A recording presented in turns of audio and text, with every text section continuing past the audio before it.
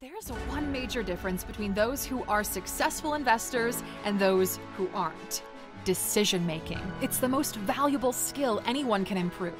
And by the end of this video, you'll have a clear understanding of what separates these two groups and how you can improve the ratio of success in your investment decisions. Here are 15 investing mistakes the ultra wealthy don't make. Number one, being emotional about money. Emotions trump reason when emotions aren't kept in check. The ultra wealthy have a secret advantage over everyone else. It's called deal flow. Deal flow relates to the number of opportunities and investments that they have access to. The more deals you make, the better your decision making mechanism becomes, and the less emotional you'll be about money. One of the biggest mistakes newbie investors make is they don't understand all the terms of the deal. They look only at the surface level and never go deep into the numbers. Do your own research is just something newbie investors say but never follow through on. The ultra wealthy, they actually do the due diligence. The numbers don't lie. And the more you're able to understand what's happening under the hood, the less likely you are to be left holding the bag. Number two, trying to time the market. The golden rule of investing is do not buy bad assets. If you buy a great asset, it doesn't matter when you buy it, as it will continue to generate value for you. Your ability to differentiate between bad and good assets is what will determine your rate of success. Waiting for the right time is most often than not taxing on the person waiting because there's always demand for great assets, and thus their value will continue going up through time. The ultra wealthy know that time in the market beats timing the market. You can actually tell how rich someone is based on what time horizons they use when they speak. This is what the S&P 500's performance looks like in the last 12 months. Ups, downs, fluctuations, a lack of predictability, right? But if you start using larger time horizons, that uncertain graph ends up looking more like this quality investments go up almost linearly through time when you think in decades instead of months. Number three, short term bets, trades, and short term thinking. The ultra wealthy know quick bets are a fool's errand. Here's something a casino owner once taught us on the difference between the rich and everyone else. When the rich come to a casino, they're there for the experience. They're walking in knowing they will spend money for the thrill, like a ride at a theme park. They assume they're not walking out with the money they came in with as a default. When poor people enter a casino, they're there to earn money. Poor people say they go in to double their money, and we all know the odds are stacked against you and the house always wins. But for the ultra wealthy, it ends up being a positive experience either way because they got the thrill. They got the thing they came in for no matter if they win or lose. While for everyone else, it's only positive if they win. This difference is crucial when investing because investing dramatically differs from speculation or gambling, mainly through the time horizons of the outcome the ultra wealthy actually prefer investments they don't have to touch for years upon years because they know every time they move funds, there will be commissions and taxes attached to those transactions, eating away at their profits.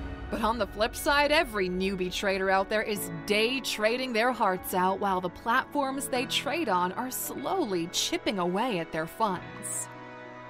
Number 4. Being cash poor. Here's how the perspective on money differs from those who are educated versus those who are still learning. The poor buy assets with the hopes they'll be able to sell them later on for more than they paid for them and thus make a profit. The wealthy buy assets with the intention of never selling them. That's the difference between making money and building wealth. And once you understand this golden rule, you'll never think of the investments you make the same way again. The wealthy treat their investments like their personal piggy bank. You buy and add it to the pile. In time, that pile grows larger and larger. This approach allows you to look at the market differently. If the market price of an investment goes down, the wealthy jump at the opportunity to buy it at a discount. And this is why the ultra wealthy always have cash on hand waiting to be deployed.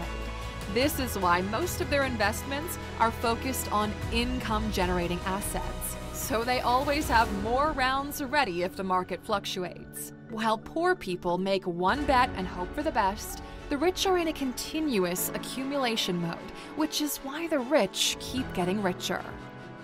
Number 5. Putting all of your eggs into one basket. The more wealth you accumulate, the more your investment strategy changes. Allocating 100% of your investment to the public markets or a single sector opens you up to complete failure risk if your industry goes under. Your understanding of risk in relation to your ability to alter outcomes also compounds through time, especially as you begin to build wealth. Now, here's the golden rule of diversification 90% of your investments should be split based on your expertise. The rest is like play money. Now, here's what that means what do you understand best and in what ratio? Let's say you run an e commerce business and also have some investments in real estate plus stocks. So, what percentage of your expertise is in the e commerce industry? What percentage of your expertise is in real estate? What percentage of your expertise is in stocks? Let's say it's 75% business, 20% real estate, and 5% stocks. Well, if you're really good at what you do, you should bet the most where you have a real competitive advantage. Invest in things that you have control over in proportion to your ability to deeply understand the market. Now, in this example, the business and real estate are where you understand the market the most, so 90% of your investments should go toward what you know. The rest of that 10% can go to alternative investments that have the potential to outperform the market, where maybe you've got an interest, but you don't have 100% expertise to do it full time. Now, this 10% is where you can take a little bit of risk because it's not going to affect your long term strategy. A great example of alternative investment is luxury art. 2022 was the best auction year ever. The big three auction houses sold nearly $18 billion of blue chip art. Especially in times of high inflation or pending recession like the ones we're in right now, art is outperforming almost all traditional investments. Last time inflation was this high, contemporary art appreciated at an average of 20% per year, according to the MW Index.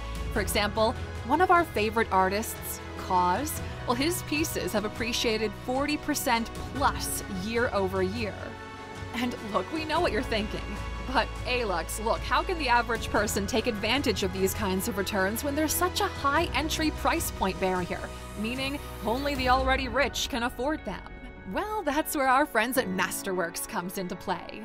They took all of the concepts from stock investments and brought them into the art world. Now you can invest in blue chip art the same way you would invest in stocks. They buy the paintings. Each offering is qualified with the SEC and broken into shares. You buy shares for as low as $20 a share, and once that painting is sold, the profit is distributed amongst the shareholders all of Masterworks' 13 exits have been profitable to investors, and in all of their exits to date, Masterworks has delivered a positive net return to their investors. This is how, in 2022, they paid out over $25 million in total to their investors, and why paintings sell in minutes. Normally, these kinds of investment platforms are closed off to retail investors, but since you're part of the Alux community, if you go to alux.com slash art right now, you can skip that waiting list. We'll leave the link in the description for you. Masterworks have been a solid supporter of our mission at Alux and were kind enough to sponsor this video. Number 6.